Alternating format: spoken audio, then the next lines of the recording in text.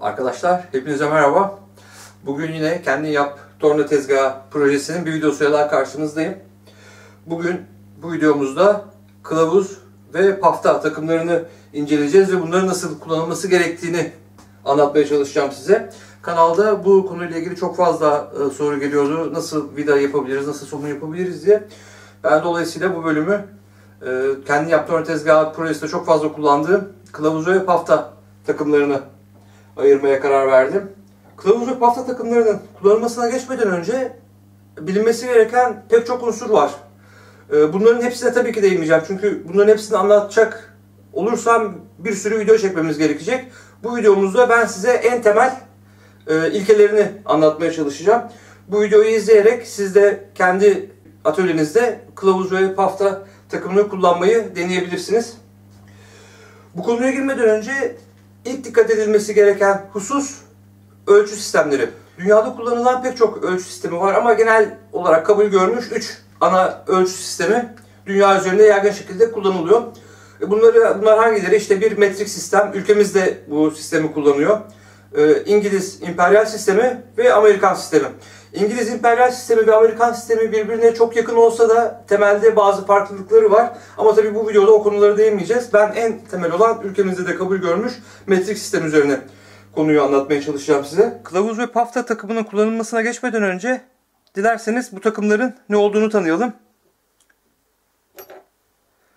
Burada görmüş olduğunuz bu lokmalara pafta, bu çubuklara da kılavuz deniyor. Pafta bunun gibi düz bir milin üzerine bu şekilde diş açan takıma verilen isim. Zaten iç yapısından da gördüğünüz gibi aynı bir somunu andırıyor. Vida dişleri var üzerinde. Kılavuz ise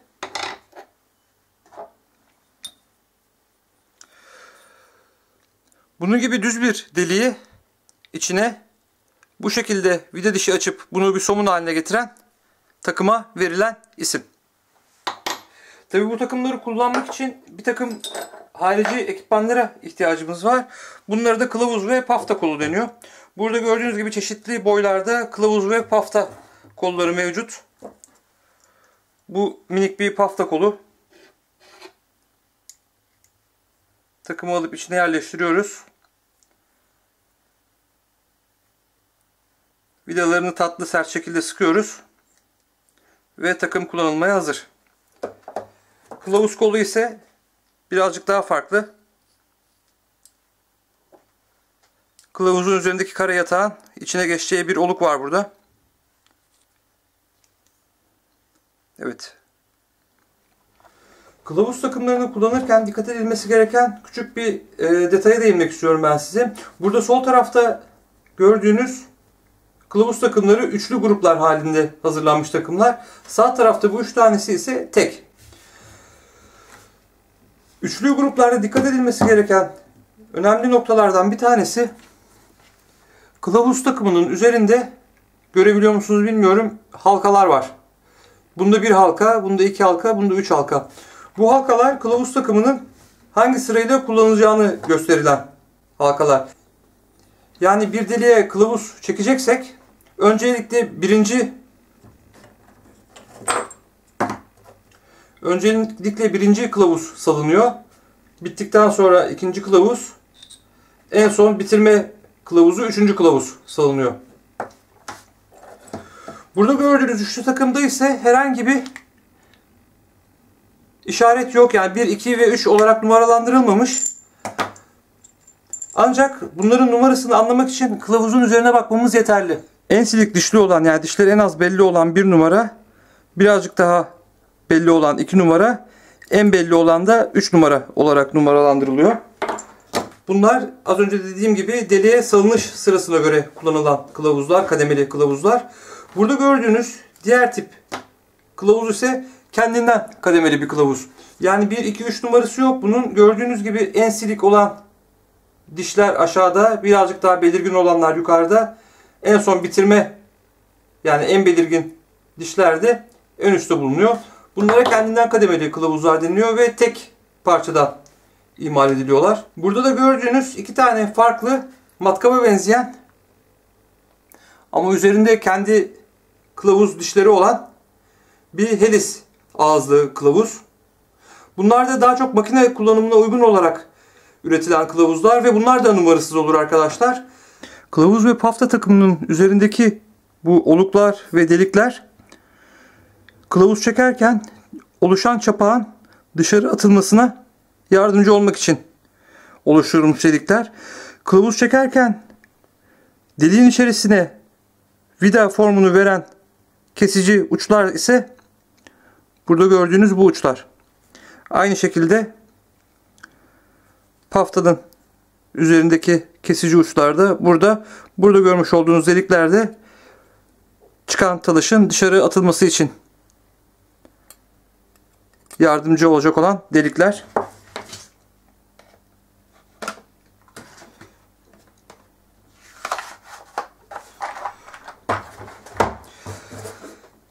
Arkadaşlar kılavuz ve pafta takımını böyle gördüğünüz gibi tek tek alabileceğiniz gibi bu şekilde hazır olarak satılan setler de var.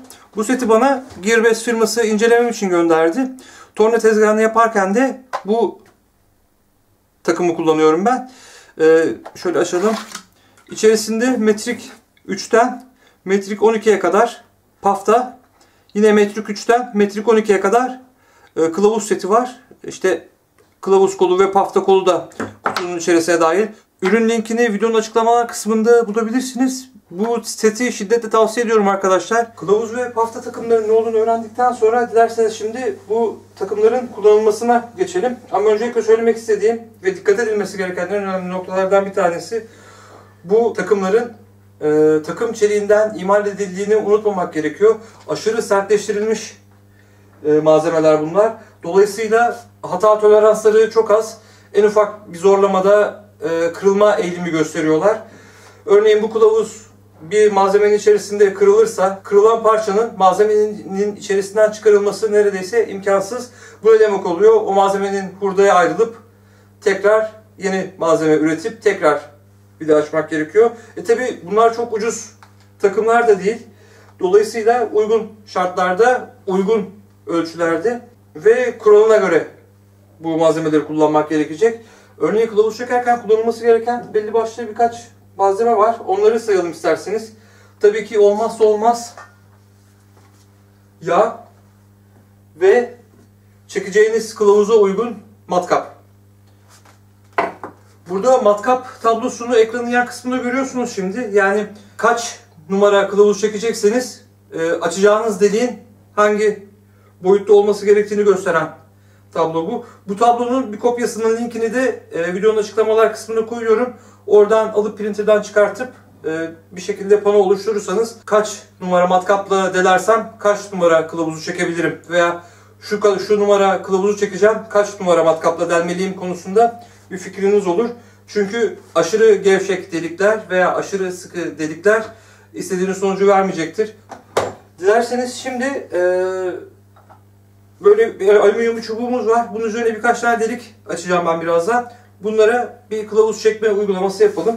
Ondan sonra da bir milin üzerinde pafta nasıl kullanılıyor onu gösteririm size. Bu uygulamada ben metrik 7 kılavuz kullanacağım. Deliğimizi uygun ölçüde deldim ve havşa matkabıyla ağzını havşaladım. Dolayısıyla kılavuz çok daha rahat oturacak içerisinde ve çok güzel diş tutacak. Uygulamaya geçmeden önce deliğin içine ve kılavuzu uygun bir yağlayıcıyla yağlıyorum.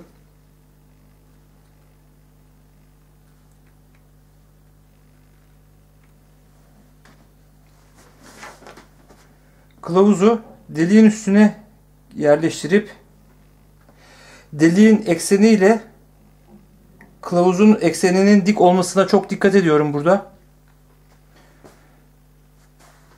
Ve ilk adımı yakalayana kadar birazcık aşağı doğru bastırıp saat yönünde çeviriyorum.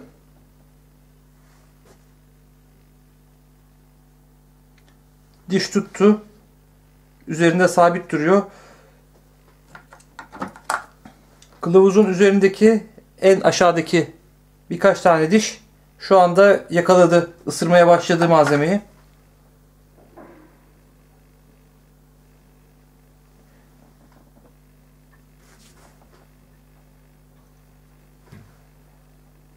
Artık aşağı doğru bastırmadan sadece saat yönünde çeviriyorum. Ve kendisi vida dişi oluşturmaya başlıyor. Kılavuz malzemeyi hazırladıktan sonra artık diş açma işlemine geçebiliriz. Artık aşağıya bastırmadan sadece saat yönünde çevirmem gerekiyor kılavuzumuzu. Ancak her yarım tur çevirdikten sonra kılavuzu çeyrek tur geri almam gerekiyor. Bunun amacı diş açarken oluşan çapakların kırılması. Aksi takdirde sürekli saat yönünde çevirirsek bu görmüş olduğunuz kanallar talaşla tıkanarak e, kılavuzun sıkışmasına neden olacak. Yarım tur geri çevirip talaşı kırdıktan sonra kullandığımız yağlama yağı tekrar bıçak kısımlarına ulaşarak tekrar daha kolay kesme yapmasını sağlıyor. Zaten bir süre sonra kılavuzun sıkılığından ne zaman talaş kırmanız gerektiğini öğreniyorsunuz. Bu yağ kullanmamızın amacı daha kolay kesim yapılmasını sağlamak olduğu kadar çıkan talaşın da malzemeden ve kılavuzdan uzaklaştırmasını sağlamak. Şimdi duyabilecek misiniz bilmiyorum. E, talaş kırarken ince çıtır çıtır bir ses çıkartıyor. Oradan talaşların kırıldığını anlayabiliyoruz.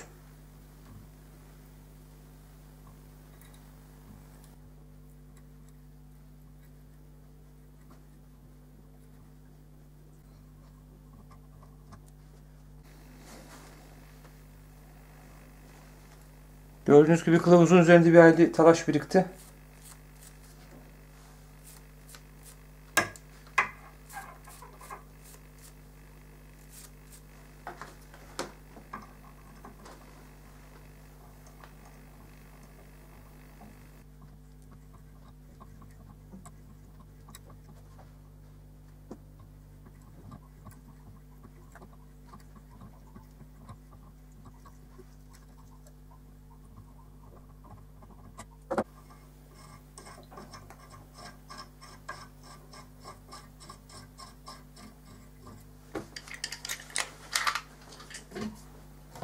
Arkadaşlar az önce kılavuzun nasıl kullanıldığını gördük.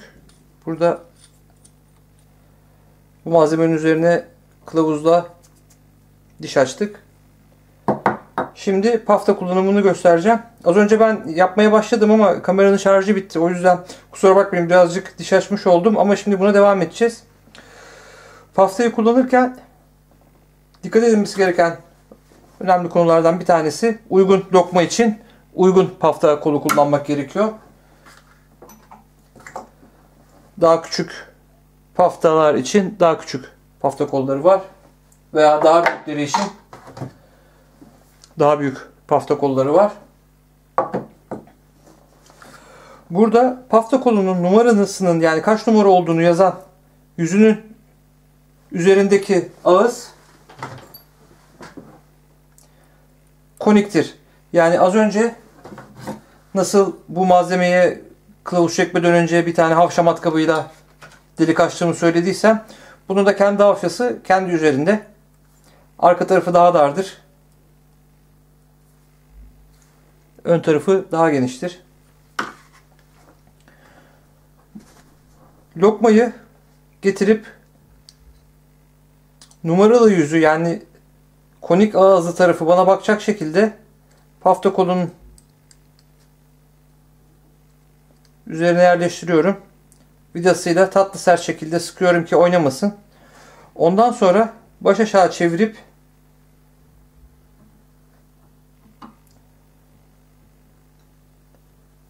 aynı kılavuzda olduğu gibi saat yönünde malzemeye daldırıyorum. Hemen şöyle sonuna inelim bunun.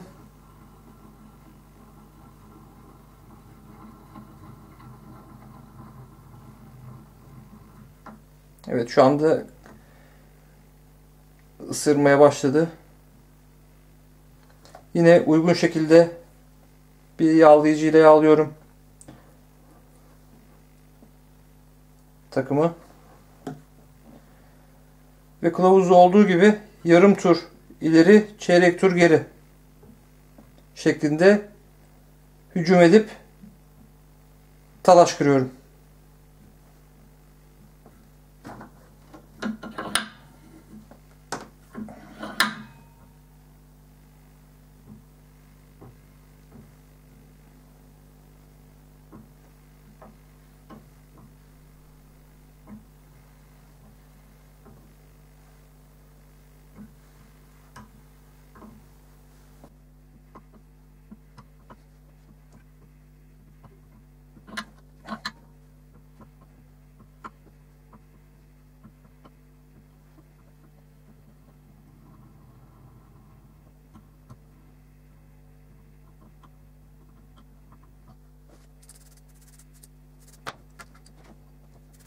Arkadaşlar kılavuz ve pafta kullanımı bu şekilde kabaca özetlenebilir. E, Ben en temel, en sadeleştirilmiş şekilde size anlatmaya çalıştım.